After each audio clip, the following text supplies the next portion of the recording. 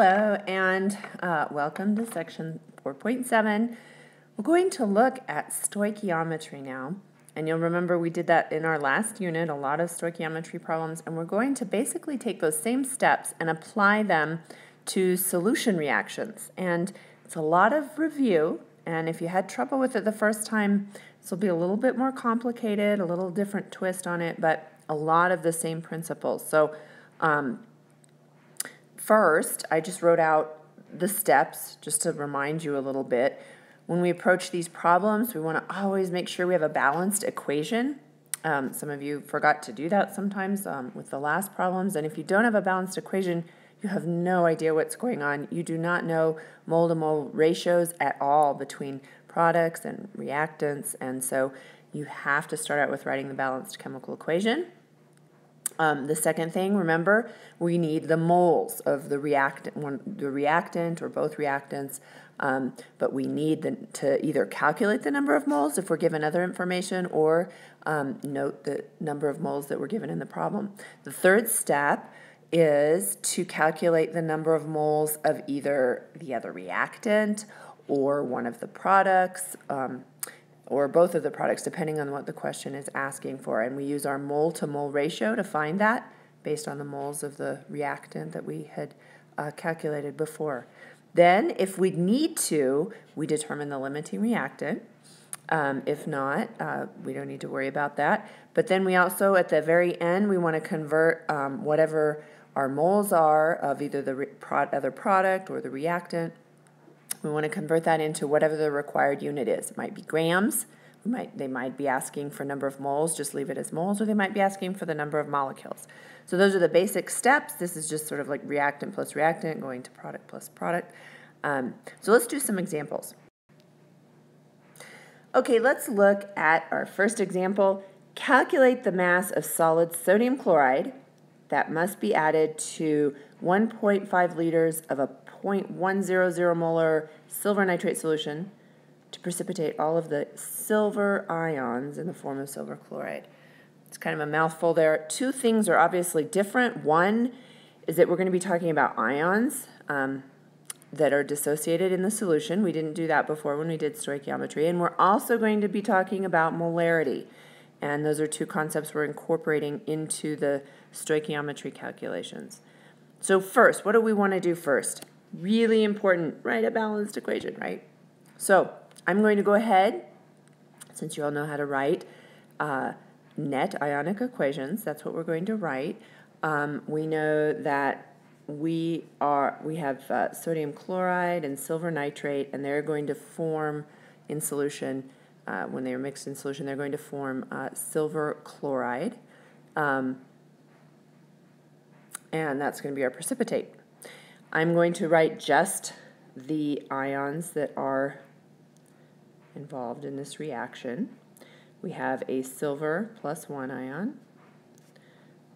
We have the chloride ion, so dissolved in solution, because we know that when sodium chloride um, dissolves, that it yields the sodium and chlor- sodium plus one and chloride plus one ions. Also, um, the silver chloride that forms is a precipitate, so it's going to be a solid. Um, this is balanced. Uh, we already have looked at that. So now what do we do next? We're going to look at calculating the moles of the reactants.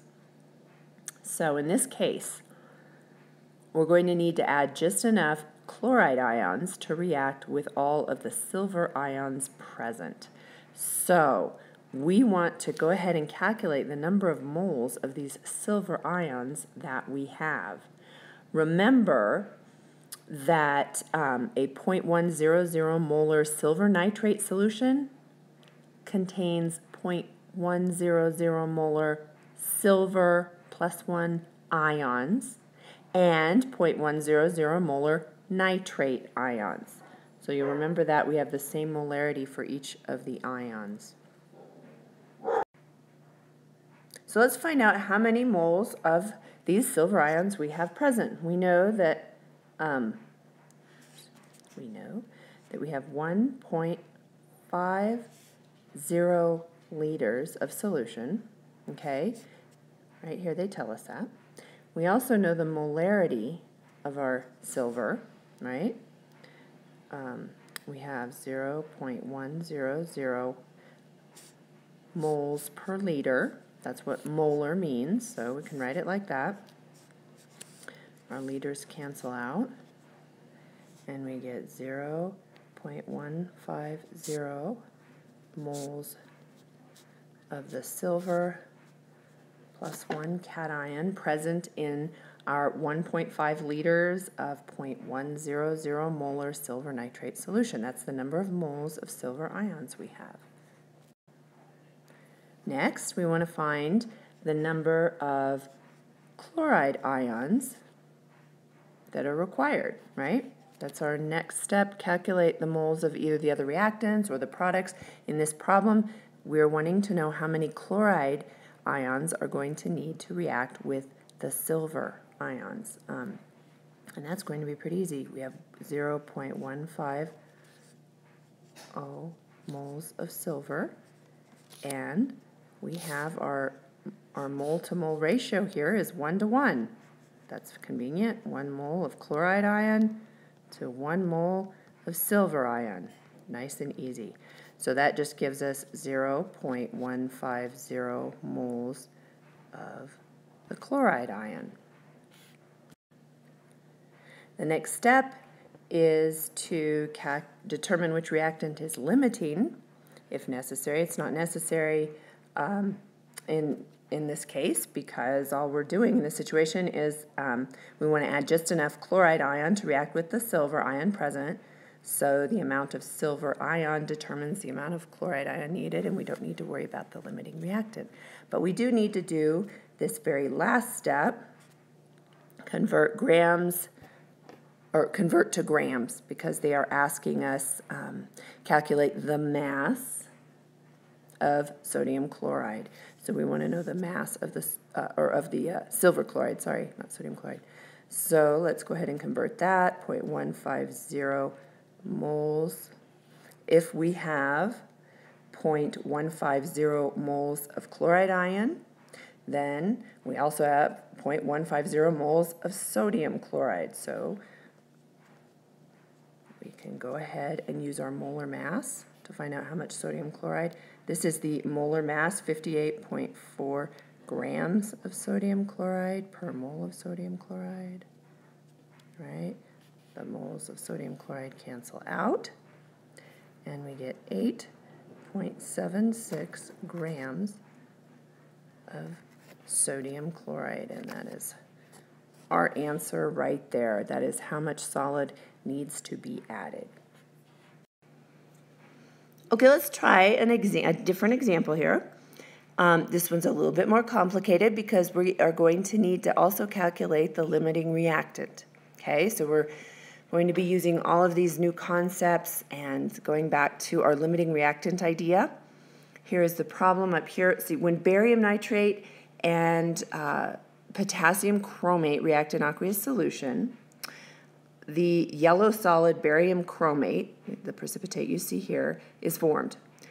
Calculate the mass of that barium chromate that forms when we have this situation 3.5 times 10 to the negative third moles of solid, solid barium nitrate dissolved in 265 milliliters of 0.0100 molar potassium chromate solution.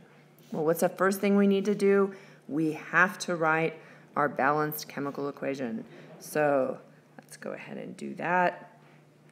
I'm going to write the net ionic equation, barium 2 plus aqueous, my pen isn't working very well, plus chromate dissolved in water. It's producing, I'm just writing the ones that are reacting here. Here's our solid precipitate. So now what do we do? Second step, we need to find the moles of the reactants. So how are we going to do that? First, let's look at, we know we have 3.50 times 10 to the negative 3 moles of barium nitrate. We know that. We know that when it dissolves, it gives us 3.50 times 10 to the negative 3 moles of our barium ion. Okay, so we know that. We also know um, that we need to find, so we have this, the moles of the barium, right, right there, the barium ion. Now we need to find the moles of our chromate ion. How are we going to do that? Well, remember, molarity equals moles of solute over liters of solution. If we rearrange that, we can say we can find the number of moles of the potassium chromate by taking the molarity times the liters of solution, right? And they give us that. How convenient. So we know our molarity up here is, from right there, 0 0.0100 molar times the liters of solution. They give us the milliliters, right? Don't plug in milliliters or it will all be all messed up, but we can quickly convert that in our heads to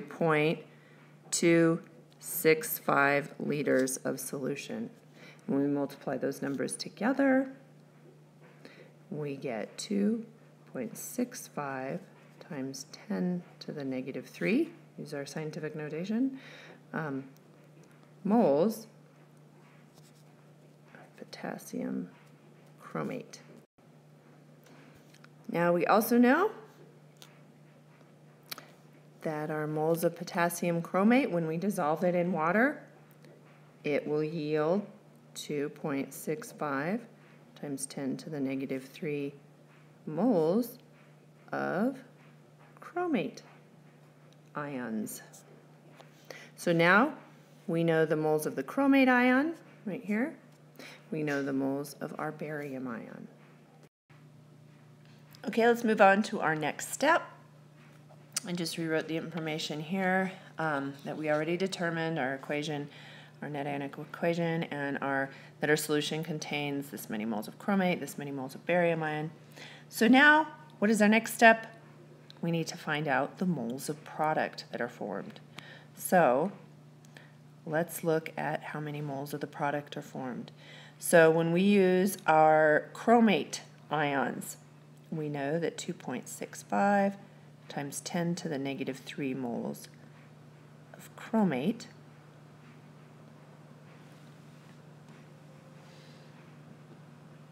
We have our 1 to 1 mole ratio here between chromate and barium. So 1 mole of chromate ion and 1 mole of our product, barium chromate.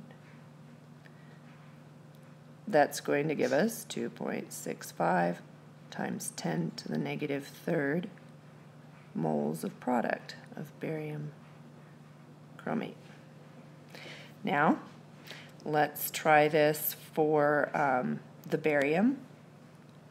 Uh, we have 3.50, uh, oops, excuse me, times 10 to the negative 3 moles of barium ions, right? Again, we have a 1 to 1 molar ratio, so it's going to yield the same thing for barium, 3.50 times 10 to the negative 3 moles of product will be formed from the barium ion. So I'm just going to cross that out. Hopefully you can see that. We have a one-to-one mole ratio just like we did up here. So we're going to get the same amount of product with our barium. For our barium ion is going to produce that, that amount of product. Um, so which one is the limiting reactant here? Well, if I can, with the chromate, ion, the chromate ion is going to yield this many moles of product. The barium ion will yield this many moles. Which one is less? This one right here. So this, the chromate ion, is the limiting reactant. So we can go ahead and write that here. Our limiting reactant is our chromate ion. We can also write, I'll just rewrite it from our last frame, the moles of barium chromate produced by our uh, chromium or chromate ion is 2.65 times 10 to the negative third moles of barium chromate produced by that. So we have one more step. We still don't know uh, the mass of the barium chromate. So let's go to the next slide and do that part. So you'll see in the problem, calculate the mass of barium chromate here. So let's go ahead and convert our moles, 2.65 times 10 to the negative 3 moles of barium chromate. And let's convert that by multiplying by the molar mass. The molar mass, I add the uh, molar mass of barium and chromium and four oxygens together to get 253.3 grams of barium chromate per mole of barium chromate. And my barium moles of barium chromate cancel out. And my answer here is 0.671 grams of barium chromate that is produced. And that would be the answer.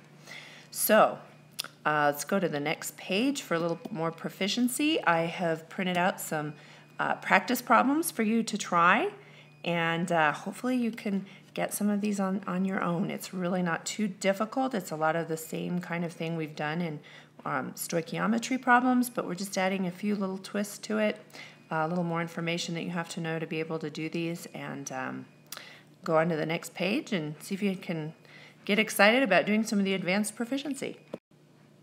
All right, here's a challenge for those of you who enjoy this.